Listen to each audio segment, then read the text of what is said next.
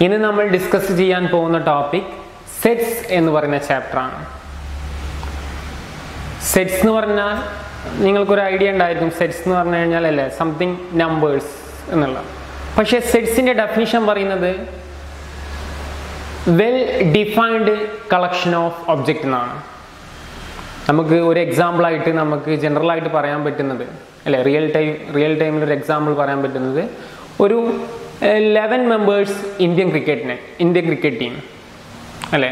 One two eleven അല്ലെ? Is the best example കാരണം ഇതൊരു വെൽ ഡിഫൈൻഡ് കളക്ഷനാണ് അപ്പോൾ സെറ്റിന്റെ ഡെഫിനിഷൻ അതാണ്. Set is a well defined collection of object നമുക്കിതൊരു സെറ്റ് റെപ്രസെന്റേഷനിൽ എങ്ങനെ റെപ്രസെന്റ് ചെയ്യാം?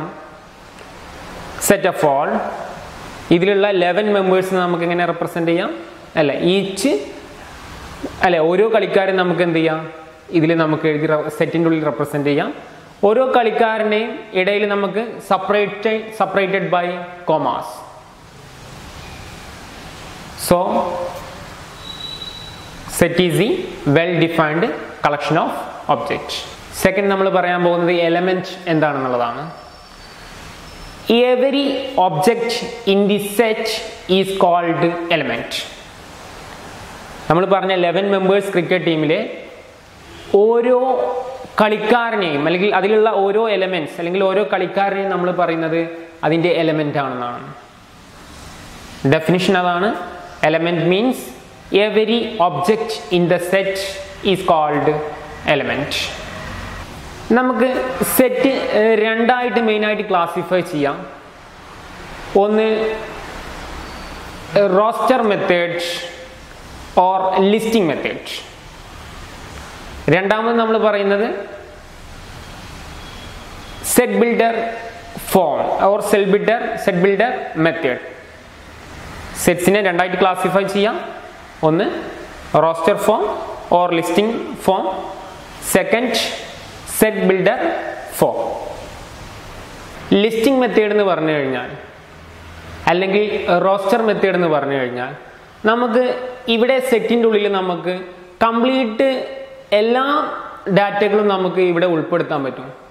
ഫോർ എക്സാമ്പിൾ നമുക്ക് natural number one two three four or integers something integer നമുക്ക് ഇതിൽ ഉൾപ്പെടുത്താം. അല്ലെങ്കിൽ റിയൽ നമ്പേഴ്സ് ഉൾപ്പെടു മീൻസ് റാഷണൽ നമ്പേഴ്സ് ഉൾപ്പെടുത്താം. എല്ലാം ഉൾപ്പെടുത്താൻ ലിസ്റ്റിംഗ് മെത്തേഡ് അല്ലെങ്കിൽ റോസ്റ്റർ ഫോമിൽ പോസിബിൾ ആണ്.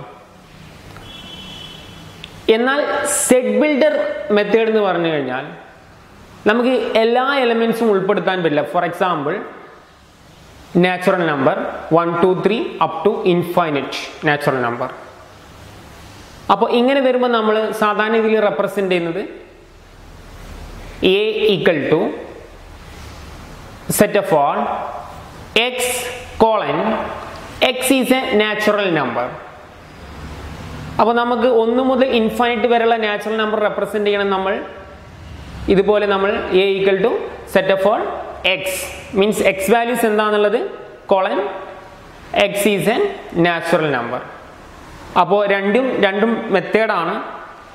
Set builder form set roster ഫോമിൽ നമുക്ക് ഒരുപാട് പരി പരിധികളുണ്ട്. സെറ്റ് ബിൽഡർ ഫോമിൽ നമുക്ക് ഇൻഫൈനിറ്റുള്ള വാല്യൂസിനെ നമുക്ക് ഉൾപ്പെടുത്താൻ പറ്റും.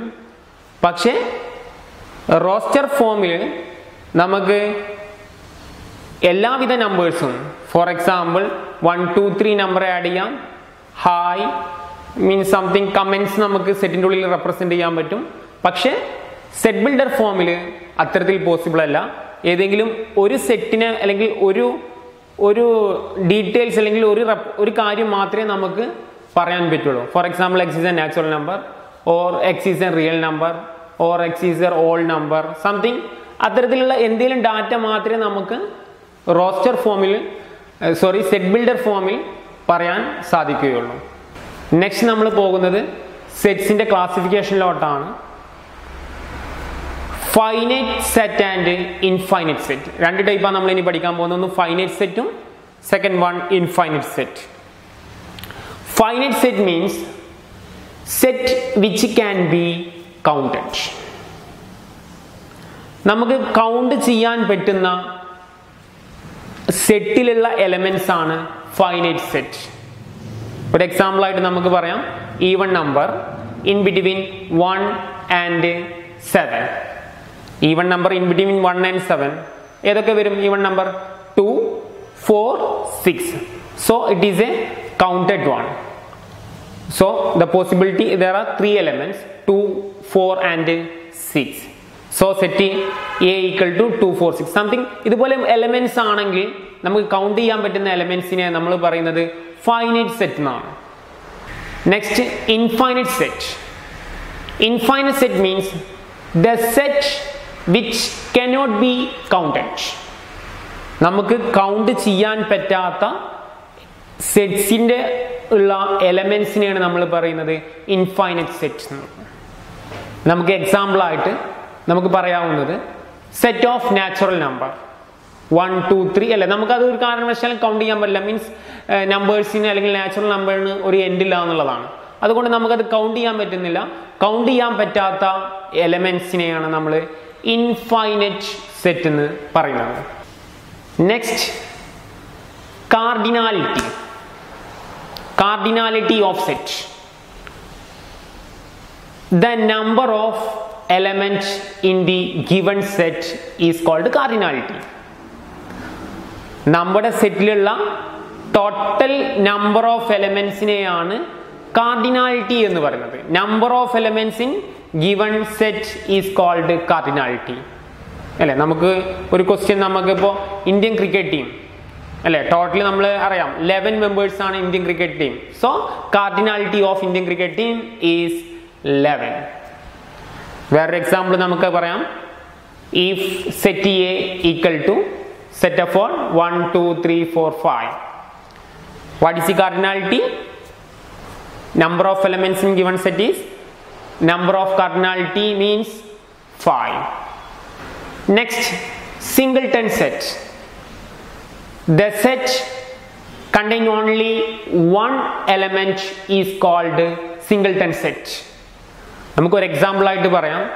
ഒരു ടു തൗസൻഡ് ഫിഫ്റ്റീനിൽ ഒരു ഇന്ത്യ ഓസ്ട്രേലിയ പര്യടനം ഉണ്ടായിരുന്നു. അതിൽ ഇന്ത്യക്കെതിരെ മീൻസ് ഓസ്ട്രേലിയക്കെതിരെ അന്ന് സെഞ്ചുറി നേടിയത് ധോണിയായിരുന്നു അപ്പോൾ അന്ന് ആകെ ഒരേ ഒരു സെഞ്ചുറിയാണ് ആ കളിയിൽ ഉണ്ടായിരുന്നത്. അപ്പോൾ നമുക്ക് അത്തരത്തിൽ നമുക്കൊരു എക്സാമ്പിൾ ആയിട്ട് സിംഗിൾട്ടൺ സെറ്റ് അന്ന് ഒരു സിംഗിൾട്ടൺ സെറ്റിന് എക്സാമ്പിൾ ആയിട്ട് നമുക്ക് വേണമെങ്കിൽ എന്ത് പറയാം? ആ മീൻസ് ധോണി. ധോണി നമുക്ക് എന്ത് പറയാം? അന്ന് സെഞ്ചുറി അടിച്ചത് അന്ന് കളിയിൽ ധോണിയാണ്. അപ്പോൾ നമുക്കൊരു എക്സാമ്പിൾ ആയിട്ട് എന്ത് പറയാം? Dhoni is a single singleton set അല്ലെ? ആരൊക്കെ ആയിട്ട് മാച്ച് കളിക്കുമ്പോൾ ഇന്ത്യ അല്ലെ? V S Australia in two thousand fifteen two thousand ഫിഫ്റ്റീനിൽ century നേടിയത്. ജനറൽ ആയിട്ട് വേറൊരു എക്സാമ്പിൾ പറയാം. ഇപ്പൊ നമ്മൾ ക്ലാസ്സിൽ നമുക്കറിയാം അല്ലെ? ഒരു സ്കൂളാണെങ്കിൽ സ്കൂൾ ലീഡർ അല്ലെ? ഒരു സിംഗിൾ ടൺ സെറ്റ് ആയിരിക്കും അല്ലെ? ഒരു സ്കൂൾ ലീഡർ എന്ന് പറയുന്നത് എന്തായിരിക്കും? ഒരു സിംഗിൾട്ടൺ സെറ്റിന് നമുക്കൊരു എക്സാമ്പിൾ പറയാം. അപ്പോൾ സെറ്റിന്റെ ഉള്ളിൽ ഒരു എലമെന്റ് ആണ് ഉള്ളൂ എങ്കിൽ അല്ലെങ്കിൽ ആ ഒരു സെറ്റിന്റെ ഉള്ളിൽ ഒരു സിംഗിൾ എലമെൻസിനെയാണ് എന്ത് പറയുന്നത്? ആ ഒരു എലമെന്റിനെയാണ് എന്ത് പറയുന്നത്? Single singleton set next null set the set which contain no elements. അല്ലെ? ഒരു സെറ്റിന്റെ ഉള്ളിൽ എലമെൻസ് ഒരു എലമെൻസും ഇല്ലെങ്കിൽ ആ സെറ്റിനെയാണ് നമ്മൾ നൾ സെറ്റ് എന്ന് പറയുന്നത്. The set which contain no elements നമുക്ക് നേരത്തെ പറഞ്ഞ സെയിം എക്സാമ്പിൾ നമുക്ക് പറയാം. ടൂ തൗസൻഡ് ഫിഫ്റ്റീനിൽ അന്ന് കളിയിൽ ആരും ഡബിൾ സെഞ്ചുറി അടിച്ചില്ല. അന്ന് ഇന്ത്യ ഓസ്ട്രേലിയ പര്യടനം ഉണ്ടായിരുന്നു. പക്ഷേ ഒരു പ്ലെയേഴ്സും അന്ന് ഒരു ഡബിൾ സെഞ്ചുറി അന്ന് നേടിയില്ല എന്നുള്ളതാണ്. അപ്പോൾ നമുക്ക് നൾസെറ്റിന് ഒരു ബെസ്റ്റ് എക്സാമ്പിൾ ആയിട്ട് നമുക്ക് ആ കളി പറയാൻ സാധിക്കുന്നതാണ് അപ്പോൾ null set means the set containing no elements next subset. A set which is a part of the another set is known as subset. Subset എന്ന് പറയുന്നത് ഒരു മെയിൻ സെറ്റിന്റെ അതിനുള്ളിലുള്ള ചെറിയ ചെറിയ സെറ്റുകളെയാണ് അല്ലെങ്കിൽ ചെറിയ ചെറിയ എലമെന്റ്സിന്റെ കൂട്ടങ്ങളെയാണ് നമ്മൾ സബ്സെറ്റ് എന്ന് പറയുന്നത്. For example set A equal to set of all one two three four five ഇതിൽ നമുക്കൊരു സബ്സെറ്റ് ആയിട്ട് നമുക്ക് പറയാം.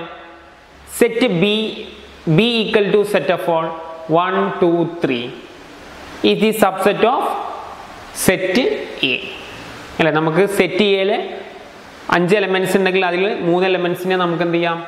സബ്സെറ്റ് ആണെന്ന് പറയാം. വേറൊരു എക്സാമ്പിൾ നമുക്ക് പറയാൻ പറ്റുന്നത് ഇന്ത്യൻ ക്രിക്കറ്റ് ടീം എന്ന് പറയുന്നത് അല്ലെ കളിക്കിറങ്ങുന്നതിന്റെ ബിഫോർ ആയിട്ട് ഫിഫ്റ്റീൻ മെമ്പേഴ്സ് ആണ്. Fifteen one five fifteen members ആണ്. കളിക്കിറങ്ങുമ്പോൾ നമ്മൾ ഷോർട്ട് ചെയ്തിട്ട് ലെവൻ മെമ്പേഴ്സ് ആണ് കളിക്കിറങ്ങാറ്. ആ ലെവൻ മെമ്പേഴ്സിനെ നമുക്ക് അപ്പോൾ ഫിഫ്റ്റീൻ മെമ്പേഴ്സിനെ നമുക്ക് സൂപ്പർ സെറ്റ് എന്നും ലെവൻ മെമ്പേഴ്സിനെ നമുക്ക് കളിക്കളത്തിൽ ഇറങ്ങുന്ന ലെവൻ മെമ്പേഴ്സിനെ നമുക്ക് സബ്സെറ്റ് എന്നും പറയാൻ സാധിക്കും. നെക്സ്റ്റ്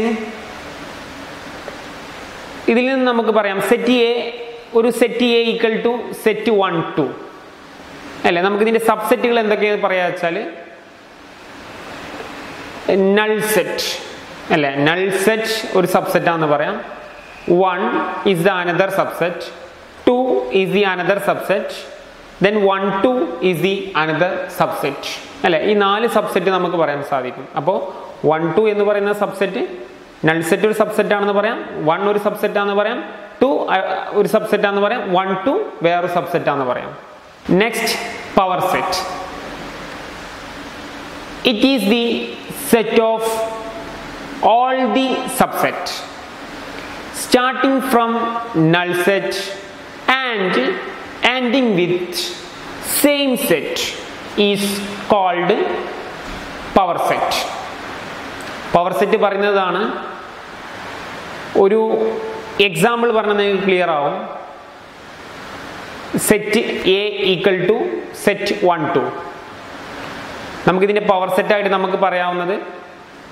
ഫസ്റ്റ് നമുക്ക് പറയാവുന്നത് null set then set one then set two then set one two അപ്പോൾ starting from null set and ending with same set one two ഇത് നമുക്ക് എത്ര സബ്സെറ്റ് ഉണ്ടെന്ന് ഫൈൻഡ് ഔട്ട് ചെയ്യാൻ വേണ്ടി ഒരു ഇക്വേഷൻ ഉണ്ട്. ഫോർ എക്സാമ്പിൾ ഇപ്പൊ set A equal to one two അല്ലെ total number of elements or cardinality of set means two ഇതിന്റെ ഫോർമുല നമുക്ക് എങ്ങനെ പറയാമെന്ന് വെച്ചാൽ total number of subset is equal to two power cardinality cardinality means number of elements in the set അല്ലെ നമ്മൾ നേരത്തെ പറഞ്ഞ എക്സാമ്പിളിൽ two power two two power two means four ഇതേപോലെ നമുക്ക് വേറൊരു example set A equal to set one two three so subset is starting from null set null set comma 1 then 2 then set 3 then set 1 2 then set 1 3 then set 2 3 then set 1 2 3 so starting from null set and ending with same set. So here total number of subset is equal to 2 power cardinality 2 power cardinality means number of elements in the given set means 3 2 power 3 8